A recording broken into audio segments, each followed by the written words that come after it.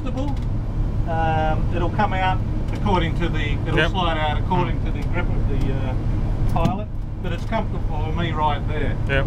And uh, your mic, uh, your, your radios, your starting, your switches, all right here, and very, you can adjust the seat of course, Mike's got longer legs, and this is your driving position.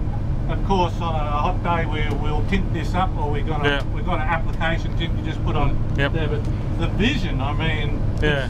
It's, good, eh? you, you can do anything. You can park it anywhere. Look, I can see every aspect of my craft, and um, I don't have any problem at all. Mm. And I'm at the uh, business end, right on the nose. It's uh, it's a